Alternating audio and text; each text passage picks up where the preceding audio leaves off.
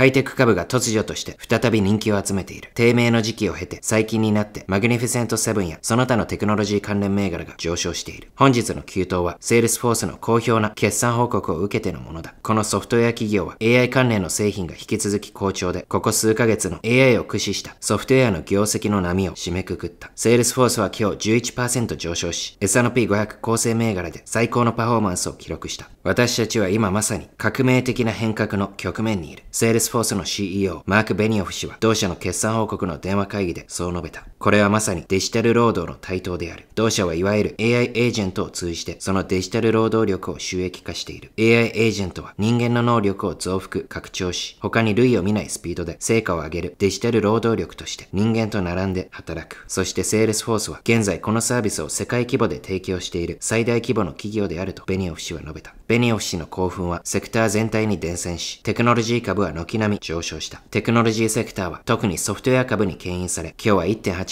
上昇し、ベストパフォーマーとなった。サービスナウは6.2%上昇、クラウドストライクは4.1%上昇、アドビは3.9%上昇した。最近の決算報告の波が最新のソフトウェア熱を誘発したようだ。パランティアは11月4日、第3四半期の決算報告が予想を上回る好調な結果となり、通年の業績見通しを情報修正した。CEO のアレックス・カープ氏は株主宛ての書簡で、最先端の人工知能テクノロジーに対する需要は揺るぎないと述べた。そしてシスコシステムズも11 1月13日、顧客の AI への関心についてポジティブな最新情報を発表した。シスコの CEO、チャック・ロビンズは、顧客は AI への対応に向けて重要なインフラに投資していると述べた。さらにサービスナウは10月23日、決算報告で予想を上回り、ガイダンスを情報修正した。同社の幹部によると、新規及び既存の顧客が同社の AI 製品への投資を倍増しているということ。また、サービスナウは昨夜、Amazon との提携拡大も発表している。これらのソフトウェア銘柄に牽引され、テクノロジー銘柄の比重が高いナスダックは1.3%上昇し、今年35回目の最高値で取引を終えた。同指数は過去12セッションで11回目の上昇と、特にここ最近は調整もなく上がり続けています。ダウ平均株価は0.7%上昇し、4万5000を突破した。この指数は4万4000から4万5000までわずか16営業日で上昇した。ダウジョーンズマーケットデータによると、これは過去3番目に早い1000ポイントの上昇ペースということ。こういった記事を見ると、そろそろ調整が来てもおかしくないなと感じじてしまいます。小型株のラッセル2000は0.4%上昇し、1週間の低迷から抜け出そうとした。この小型株指数は先週一時的に過去最高値を更新したが、それ以来下落している。出来高はニューヨーク証券取引所で減少したが、ナスダックでは増加しました。出来高の増加に伴う今日のナスダックの堅調な上昇は、投資家による株式市場への信頼感の表れであると IBD は述べている。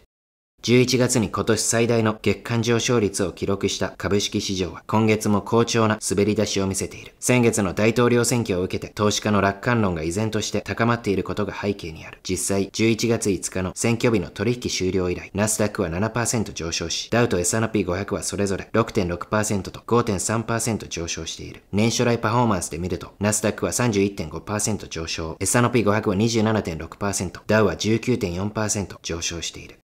それでは今の株式市場は加熱しすぎているのか ?S&P500 指数は50日同平均線を3.9%上回り、ナスダックは50日同平均線を6%近く上回っている。これは11月中旬に指数が短期的な高値を記録して以来、最も大きな差である。そして投資家の楽観論は依然として加熱している。市場ニュースレターを対象としたインベスターズインテリジェンスの週間調査によると、強気派は前週の61.3%から62.9%に上昇した。強気派が55%を上回回るのは8週連続で、これは IBD が危険水域とみなす水準である。また、7月の64.2%以来、最も強気派が多い。ちなみに、その7月、強気派がかなり多かった時、その後に株式市場は結構大きな調整を食らっているんです。現在はこの7月以来の楽観的ムードということで、まあ、短期的には調整を覚悟したいなと思っています。株式市場は少し冷え込む必要があるかもしれないが、季節的には市場にとって有利である。12月は株式投資家にとって優しくなる傾向があり、特に月の後半はそうである。今日、大型テクノロジー株は軒並み上昇した。AI 投資家の人気銘柄、NVIDIA は3.5%上昇した。Apple、Microsoft、アルファベット、Amazon、メタ、テスラ、ブロードコムも上昇した。チップメーカーのマーベルテクノロジーは好調な決算を受け23%急騰。カスタム AI チップの需要が堅調な中、明るい見通しを示した。現在、買いシグナルを発している銘柄は NVIDIA を含めてこの辺りの銘柄だそうです。スノーフレーク、ロック、シャーク忍者、チポトレも入っています。アメリカ10年債利回りは水曜日の終値4.22%から下落し4.18%となっている。金先物は1オンスあたり2670ドルとやや上昇。原油先物は約1.5%下落した。そして先ほどビットコインが初めて10万ドルの大台を突破した。パウエル FRB 議長は昨夜暗号通貨はデジタルゴールドであると述べた。同氏はまたビットコインはドルの真の競合相手ではないとも述べ、FRB がデジタル資産をほとんど懸念していないことを示唆した。また、トランプ次期大統領がポール・アトキン氏を SEC の委員長に指名した。アトキンス氏は1月に退任する予定である暗号産業の批判者であるゲイリー・ゲンスラー氏の後任となる。トランプ次期大統領は、アトキンス氏は常識的な規制の実績あるリーダーだ。彼は投資家のニーズに応え、世界最高の経済を実現するための資本を提供する強固で革新的な資本市場の可能性を信じている。また、デジタル資産やその他のイノベーションがアメリカをかつてないほど偉大な国にするために不可欠であることも認識していると述べた。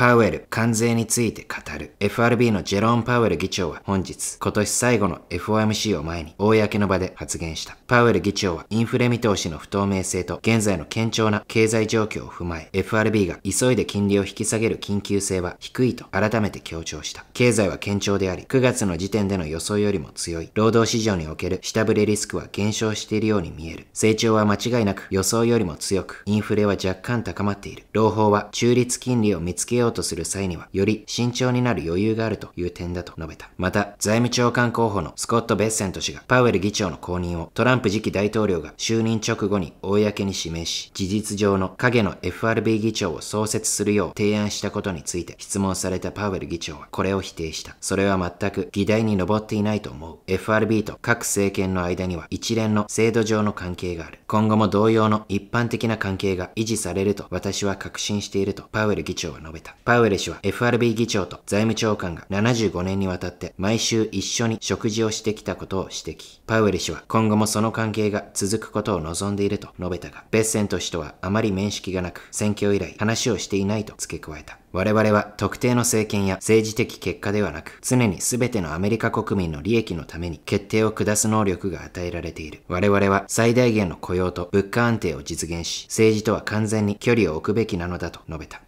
パウエル氏へのもう一つの質問はトランプ政権の潜在的な政策に関するものだった。金利決定の際にそれらを考慮し始めるにはまだ早すぎるとパウエル議長は述べた。関税について我々が知らないことはたくさんある。その規模、タイミング、期間、どの国の製品が課税対象になるか、それが価格にどう影響するか、経済活動にどのような影響が出るか、他国が報酬措置に出るか、などだ。つまり、わからないことリストの一部だ。現時点では、それに基づいて政策を打ち出すことはできない。これは関税だけでなく、移民、税制、規制に関する様々な選挙公約と、その経済やインフレへの不確実な影響にも当てはまるとパウエル議長は述べた。さて次の注目。11月の雇用統計は金曜日に発表され、11月の消費者物価指数は12月11日に発表される予定です。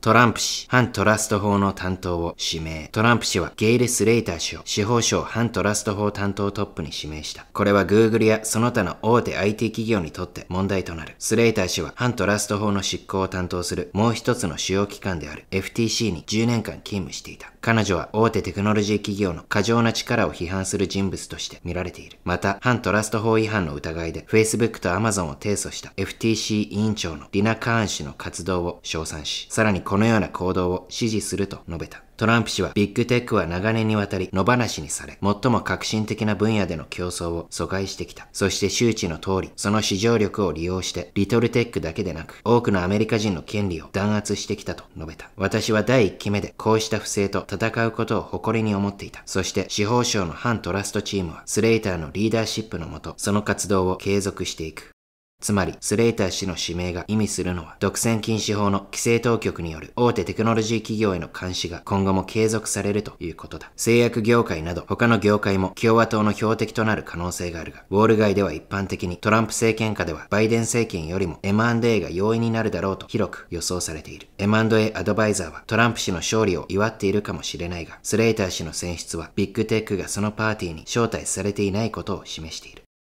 Apple 中国で苦戦。The Information によると Apple は中国ユーザー向けに Baidu の AI モデルを適用させるのに苦戦している。Apple と Baidu は来年中国で販売される iPhone に人工知能機能を追加するために協力している。しかしこの2社は難題にぶつかっており解決できない場合米国に次いで2番目に大きな市場での iPhone の販売拡大を目指す Apple の期待を損なう可能性がある。Apple と Baidu のエンジニアたちは Baidu の言語モデルを iPhone ユーザー向けに適用させるべく急ピッチで作業を進めている。しかし、プロジェクトに直接関わっている人物の一人によると、このモデルは iPhone ユーザーがよく遭遇する状況に対して、プロンプトを理解し、正確な応答を行うことに苦戦しているということ。また、この関係者は、モデルの訓練と改善に iPhone ユーザーのデータを使用することについても、両者は対立していると述べた。Baidu は AI 関連のクエリを行う iPhone ユーザーから得たデータを保存し、分析したいと考えている。しかし、Apple のプライバシーポリシーでは、この種のデータの収集は禁じられていると、このの関係者は述べた。米国やその他の一部の国では、Apple は10月に新しい生成型 AI 機能の展開を開始した。しかし中国では Apple は中国企業と提携する以外に選択肢がない。中国の AI モデルは特定のセキュリティ、プライバシー、コンテンツ要件を満たさなければならず、リリース前に規制当局の承認を得る必要がある。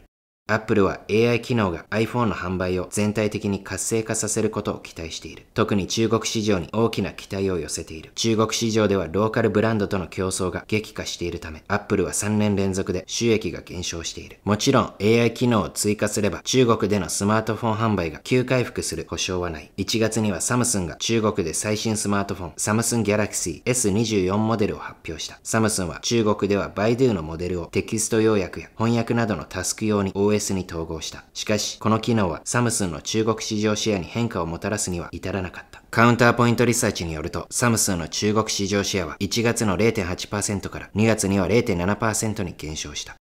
CEO 殺害事件、企業が経営幹部の警備に費やす費用について今後疑問の声が上がることはまずないだろう。水曜日にマンハッタンのミッドタウンで開かれた投資家向け会議に向かう途中、ユナイテッドヘルスケアの CEO ブライアン・トンプソン氏が殺害された衝撃的な事件はメタ、スナップ、コインベース、そしてテスラといった企業が最高幹部の警備に数百万ドルを費やす理由を改めて認識させるものとなった。ユナイテッドヘルスケアの親会社による証券取引委員会への提出書類には経営幹幹部の警備費用を負担しているという記載はない。同社の幹部にはマーク・ザッカーバーグやイーロン・マスクのような知名度の高い人物はいないため、同社がそのような費用を負担していないとしても理解できる。しかし、この銃撃事件を機に大手公開企業は警備体制の見直しを迫られることになるだろう。この点において大手テクノロジー企業の中には他社より一歩進んでいる企業もいくつかある。例えばメタは昨年、ザッカーバーグの警備に約2300万ドルを支出しており、他の幹部の警備にも費用を支払っていることが証券取引委員会への提出書類から明らかになっている。またテスラの有価証券報告書によると、イーロン・マスク氏は自身に関する警備サービスを提供するために警備会社を所有している。テスラは昨年、マスク氏の警備サービス総費用の一部として240万ドルを支払った。セキュリティ費用を負担しているその他の企業には、アルファベットが CEO のサンダー・ピチャイに680万ドル、スナップが CEO のエヴァン・スピーゲルに250万ドル、アマゾンが創設者のジェフ・ベソスに160万ドル、Airbnb が CEO のブライアン・チェスキー氏に30万ドル弱などがある。そしてテクノロジー企業だけではない。エクイラーの分析では少なくとも1人の CEO の警備を担当する企業の割合が2021年から2023年の間に23.5%から27.6%に上昇した。今になってはっきりわかるが、これはお金をかける価値が十分にあったと言える。